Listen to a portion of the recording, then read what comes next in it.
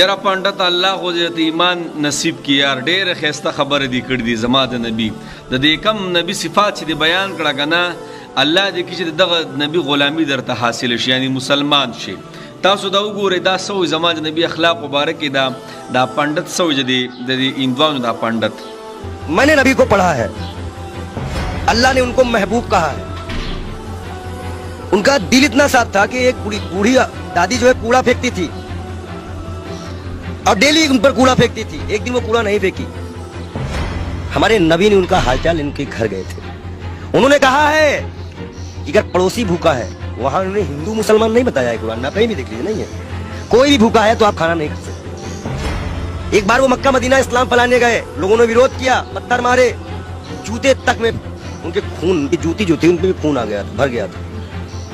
इब्राहिम सलाम जहन्नम की आग लेके उतरे थे बोले थे मेरे प्यारे नबी है मेरे प्यारे महबूब वो इसलिए बोले थे कि अल्लाह उनको प्यारे नबी और महबूब करते थे इस्लाम के लास्ट पैगंबर माने जाते हैं उन्हीं की उम्मत जो है अल्लाह की बारगाह में जाएगी सुनवाई होगी बादशाह तिहत्तर फिरके हैं इस्लाम में الله قران کې هم فرمای نبی وای داسې دی پیجنې کنه دا غیر لکه څنګه چې د خپل بچی پیجنې د دې دیم سیوایو قسم له پیجنې مفهوم داسې دی او د اخلاق خبره شو کنه یو انګریز یو کتاب لیکل دی او هغه چې څومره دا غټ غټ ساينسدانان دي دا څومره غټ غټ خلک په دنیا کې تیر شوی دی د دې ریسرچ کو چې دوی کې دا څه کمالات چې الله ولا دا مقام او ترقی یعنی دا مقام او ترقی ته ملاو شوی دا نو اخر کې زمونږ د محمد رسول الله صلی الله علیه وسلم نمبر رااله یعنی هغه انګریز زمونږ په نبی علی السلام باندې ریسرچ کو چې دا څومره لوی هستی په دنیا کې تیر شوی دا د دا اخر څه کمالاتو نو د اخلاق معامل معاینه ولوګره د اخلاق او زه چې کله دې خبر لراورسېدم چې دا نبی دومره اخلاقی دی نو زما ذهن داسې تاو شو داسې حیران کړم هغه واقع سوا یو جنگ شو یو جنگو او پاغه کې ډیر صحابه سي شهیدان شي ډیر صحابه نو کله چې صحابه کورون تراله نو ډیر چې پکې چونګ شهیدان شو نو یو رسول ورځ پس یو صحابي د خپل زوی پس په دې په دې وګ باندې راغستې دي او داسې روان کړي دي او ډیر مینه محبت ور سره کوي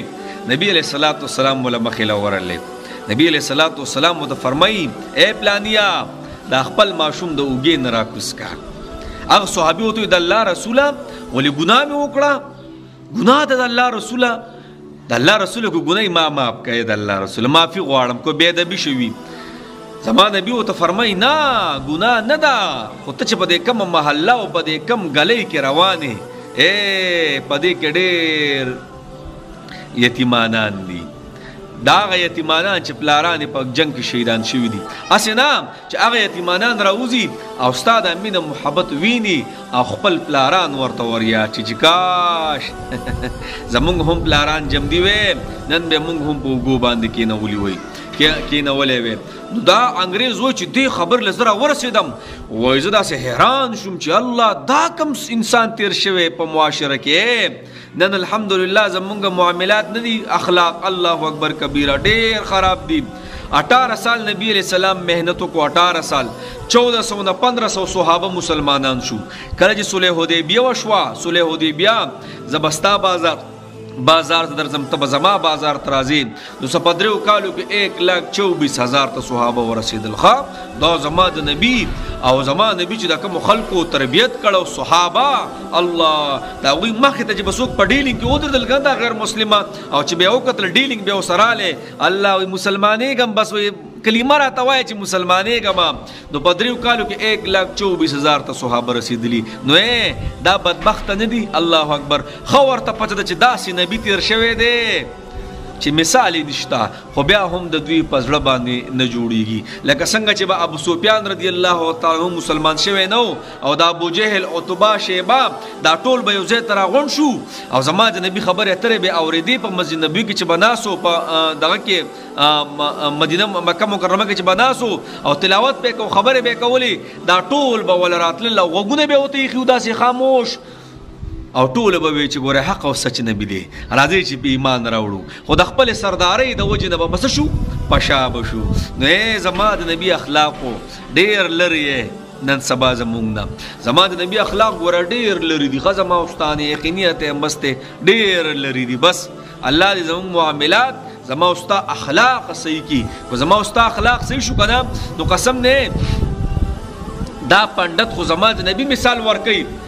خو زما او ستا مثال نشي ورکولای د موجوده د موجوده مسلمانانو مثال نه ورکي ولې هغه جذب دي مسلمانانو کې نشتا پکاره چې د موجوده مسلمانانو مثال ورکولای ولې چې دا د هغه نبی امتیان دي خو څه کم اخلاق دی غیر ته وخایو د قتلون اخلاق ورته وخایو